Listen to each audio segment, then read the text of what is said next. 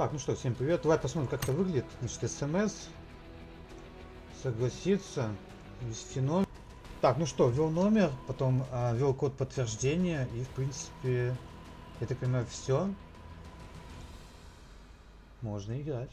Прикольно. Да, конечно. Выдумали, да?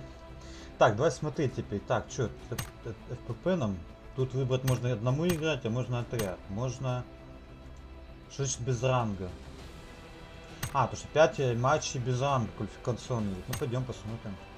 Рандомных тиммейтов, видимо, давать будут.